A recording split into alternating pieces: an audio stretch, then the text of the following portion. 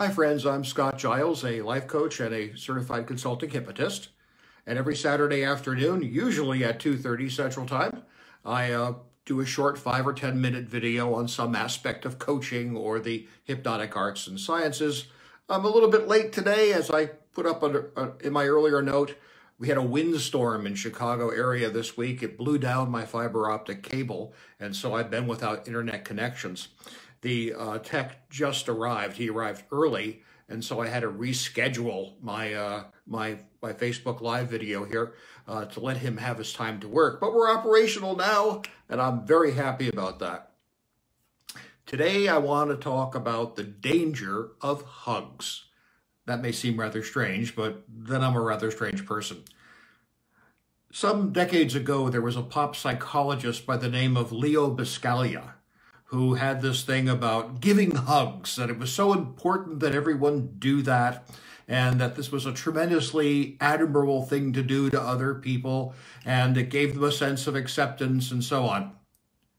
I hated it. His work was really popular among the members of my denomination. And uh, I would often go to conferences and I'd have all these people walking around with I give hug buttons and whether you wanted to be hugged or not, they would just come right up to you and grab you and put you in this sweaty hug where you could smell what they had for lunch and whether or not their deodorant was working. It was not a good thing. Now, the thing to get is that different people have different levels of personal boundaries. Some people, especially in some cultures where uh, interpersonal space is right up close personal, like the Greek culture or the classical uh, Mideastern culture, that's not such an issue. But for someone like myself, with an Anglo-Saxon, Germanic, uh, Celtic background, interpersonal distances are out there farther. Also, a lot of people have had experiences of being physically abused, or physically bullied in childhood, and I've had that experience. As a result, my personal boundaries are out there. There are very few people I'm comfortable letting hug me. There are some, but there are few.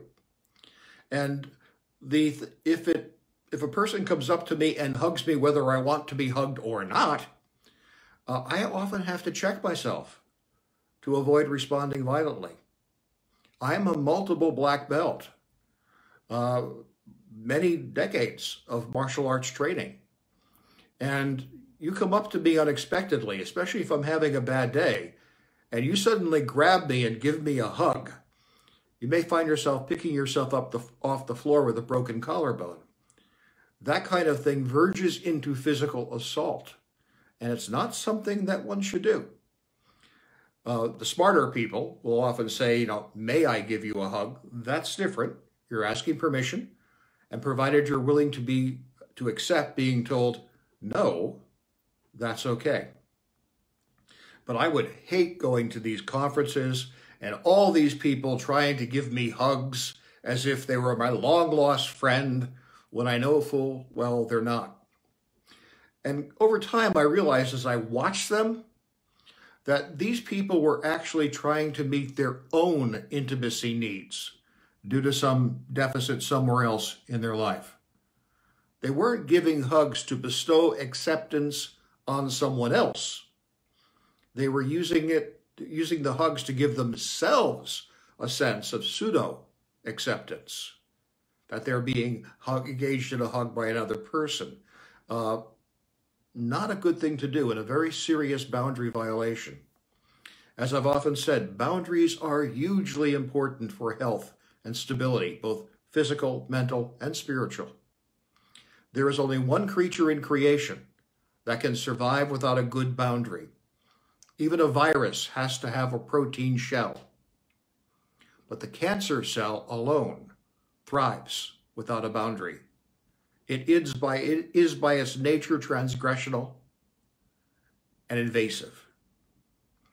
So boundaries are important things. And aggressively giving hugs to other people who may not want them is a boundary violation. Now, let me change the channel just a bit. As a consulting hypnotist, also a retired board certified chaplain, I'm a helping professional.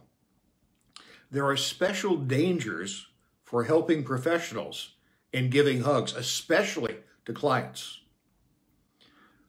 In a professional helping relationship, all touch is problematic because it can be misunderstood. The uh, hugs especially, because a hug is also, it could be a friendly and accepting gesture, but it can also be a romantic or a sexual one. And it depends on how it's being interpreted by the people engaged, and you don't control that. Easily misunderstood. One of my trainers once said, whenever you're doing something in a professional setting, you always have to ask yourself, how would I be able to defend my behavior if I were on the witness stand being interrogated by a hostile attorney? So, what part of your body did you press against my client's body? Uh, that could be a very difficult answer to give and not seem like you're some sort of a predator. So, do you know about an A-frame hug where the rest of the body doesn't touch? And why did you not do that to my client? And on and on and it goes. It becomes very easy to cast a, a shadow over uh, the interaction. So it's best to just avoid the possibility. Now, there are some forms of hypnotism that do use touch, not hugs, but they use touch. Although I've seen some techniques where the person is thrown forward into the hypnotist's arms, uh, which approximates to a hug. If you are going to use techniques that involve touch, you should have a waiver in your client Bill of Rights. The wording that I've seen that I think uh, holds up is to say something along the lines of, my style of hypnotism may occasionally require light touch to non-intimate parts of the body, such as hands, arms, shoulders, or forehead. The purpose of this touch is instructional. By signing this document prior to beginning our professional relationship, you explicitly give consent for these techniques to be used. That would be a good CYA kind of uh, thing to have in your client Bill of Rights although you still have to worry if you're involved with touch. Um, and also there's another issue. If you're touching a client, some people can come back and say you're practicing chiropractic uh, massage therapy uh, or something like that. And again, it just creates an additional confound that you don't need in your hypnotism practice uh, when there are other techniques that would achieve the same result without having the risk in a helping relationship, there is no absolutely safe form of touch. Even shaking hands can be a problem. All we have are low risk forms of touch, like shaking hands, because that's socially acceptable, uh, to high risk forms of touch, and that would be the, the full body hug. So it's something that you really want to think through about installing in your practice or not. And in your personal life, I would appreciate it if you would take seriously my concern expressed earlier. People have different levels of physical boundary, and you're not doing them any favor if you step over that boundary. It may feel good to you, but you don't know how it's going to feel to them, and it may be highly objectionable, and you may be damaging a relationship rather than cementing it. Hey, thank you very much for your attention. I always appreciate how many people tune in to uh, to catch my broadcast here. Uh, I'll be editing this up and put it on my YouTube uh, channel, and I'll put a notice up on Facebook. I'm also cross-posting to Instagram these days, so, so you're welcome to check it out there too. I'll be back 2.30 Central Time next week with another video.